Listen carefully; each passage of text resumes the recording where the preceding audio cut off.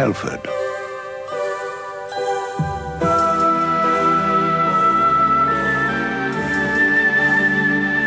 A better place to live and work.